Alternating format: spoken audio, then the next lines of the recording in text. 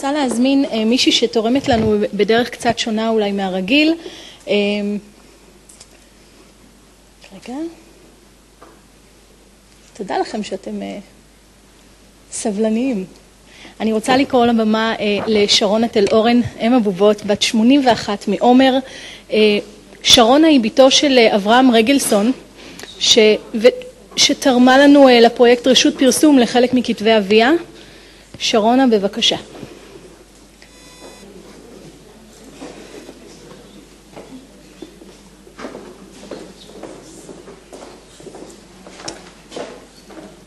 ערב טוב.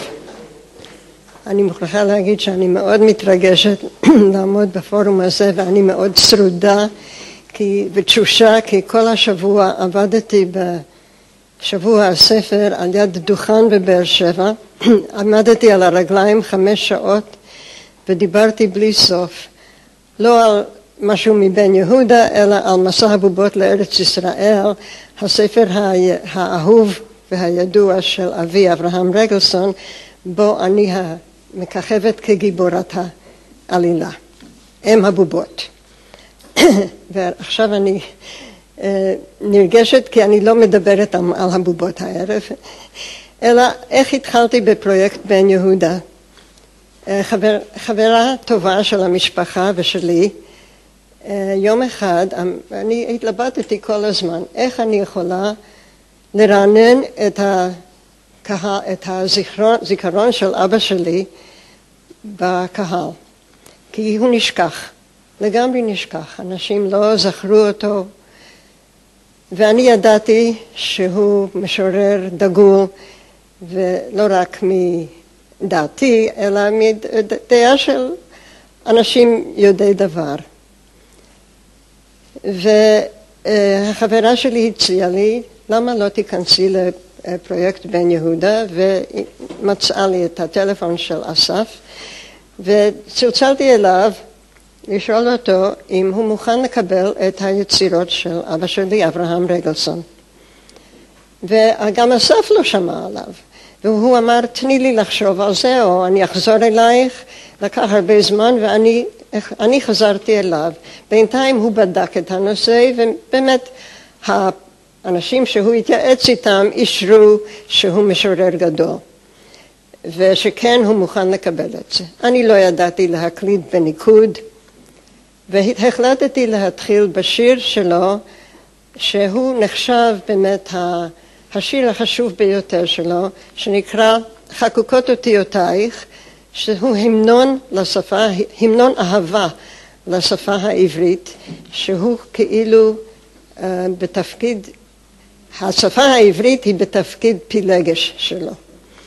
וזה uh, שיר מאוד ארוך, בעל עשרים בתים, וקשה.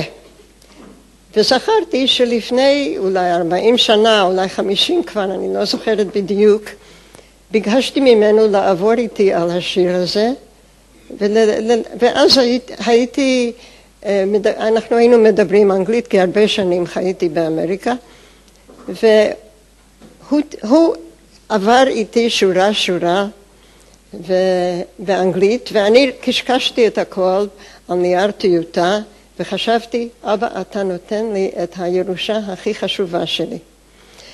והנה אני מקלידה את uh, חקוקות אותיותייך לראשונה בבן יהודה, ואסף אחר כך העיר לי שהוא עוד לא קרא ספר, אה, שיר כל כך מהמם, כל כך שנגע בליבו, אבל uh, בניקוד הוא אמר, מצאתי כשמונים טעויות. זה היה ומאוד התביישתי ואחר כך תיקנתי את זה, אני מקווה. בכל אופן, אה, נזכרתי במה שיושב אצלי בארון איזה ארבעים שנה, מילה מילה הוא ביאר לי את השיר הזה, כי הוא שיר קשה, וספרות עברית לא היה התחום שלי, אני באה מתחום המוזיקה, וזה, ואחרי זה הרגשתי כמה שאני מאושרת מההסברים האלה, ואמרתי יום אחד אני אעשה משהו. סיפרתי לאסף על האוצר הזה שיש לי, והוא אמר, תעבדי על זה. ויחד עם הבת שלי, שהיא יותר מלומדת ממני בספרות, איבדנו את זה לעברית, כי הכל היה כתוב לי באנגלית, והיום זה מופיע אחרי השיר בפרויקט בן יהודה, זה מופיע הגרסה המבוארת והמוארת מאת המשורר. ואם מישהו, מישהו מוצא שהשיר הוא קשה ונעזר בביאורים שלו, אה, נוכח לדעת כמה שהשיר הזה גדול וחשוב. אה, לאחרונה, אני, אני בשלב אה, הכנה לאוסף שירת, שירת, אוסף שירתו בשלוש שפות, כי הוא כתב גם בעברית, גם ביידיש וגם באנגלית. ופרופסור דן מירון עורך את זה ומוסד ביאליק יוציא את זה לאור.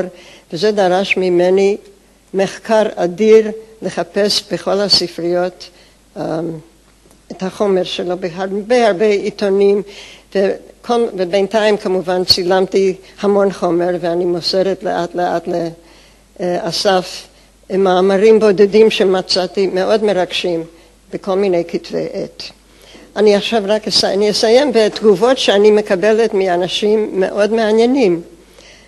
קיבלתי אימיילים משני סטודנטים לספרות עברית בקהיר ואחד מהם אומר לי שאת השיר חקוקות אותיותייך הוא מתרגם לערבית ואני, והוא כותב לי באנגלית מאוד מאוד עילגת אז אני אה, קצת מטילה ספק בכוחות הספרותיים שלו בערבית גם, אבל אין לי זכות להגיד את זה כי אני לא מבינה מילה בערבית. אבל אה, אני מקווה שביום אחד הוא ישלח לי את זה ואני אוכל להתייעץ עם גורמים. אה, עוד דבר שמעניין מאוד, שקיבלתי אימייל מאחד שיש לו שהוא מנהל או יזם בית כנסת בתל אביב שהיא חילונית. זה נקרא בית תפילה ישראלי, אולי חלק מכם, והוא ביקש, הוא אומר לי שבמאמר אחד של אבא שלי הוא מצא um, בדיוק תזכור, אזכור לסוג בית הכנסת שהוא יסד בתל אביב. זה נקרא בית תפילה ישראלי והמאמר נקרא חלום על תל אביב ובתוך המאמר הזה יש פסקה שאומרת איך בתי כנסת אה, ייראו בתל אביב וביניהם הוא אומר אה, בין הפרטים על בית הכנסת, ניהול בית הכנסת, תהיה גם קריאה של שירה, שירה גם של מודרנית, לא רק אה, דברים מהרבנים מה, אלא גם מה מהשירה המודרנית, והוא בעצמו אמר לי שאני נוהג לקרוא, להקריא משירי רגלסון בתוך בית הכנסת הזה, וזה נורא ריגש אותו ש, אה, שזה נמצא בתור, אה, שזה זה נמצא בבן יהודה, אבל בתור אוסף של מאמריו שיצא לאור יותר מאוחר אה, בתוך אחד הספרים. אבל המקור שלו היה בעיתון דבר ומשנת 34 או 36, לא זוכרת בדיוק. והוא אמר, הוא, הוא ניבא את בית הכנסת שלו כל כך, לפני כל כך הרבה שנים, זה ממש ריגש אותו. דבר אחרון אני מוכרחה לספר, כי זה כל כך ריגש אותי, קיבלתי אימייל ממונטריאול אה, בקנדה, ואחד שאני לא מכירה, שמו רוטשטיין וכרגע ברח לי השם הפרטי שלו, אבל הוא אומר, אני מגיע לארץ ואני מביא לך משהו מאוד חשוב. וזה כמובן עורר את סקרנותי, מה אתה מביא לי? ואני לא ידעתי אם הוא כבר הגיע, לא הגיע. ועוד פעם שאלתי אותו, מה אתה מביא לי?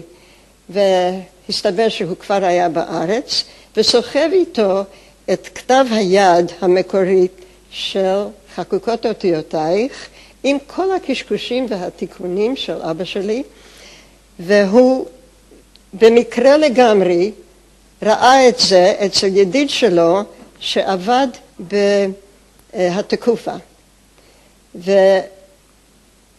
וכשהתקופה התקפל, הוא לקח איתו את אה, ארגז עם כתבי יד.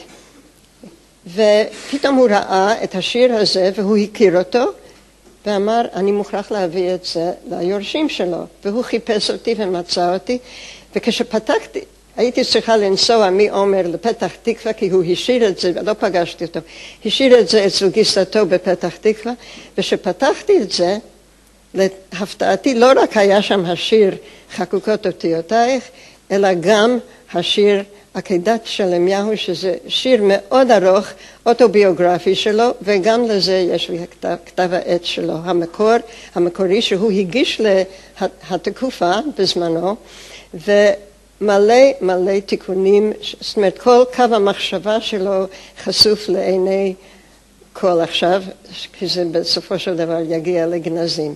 וזה כמובן מאוד מרגש אותי. ובזה אני אסיים. אני... Uh, מאוד בכלל גאה להיות, להיות חלק בבן יהודה, כי אני יודעת שזה ממש העלה את קרנו שוב, ו, אה, ואני שמחה על כך. המון אנשים עכשיו כותבים עליו ונהנים משירתו. תודה, ביי.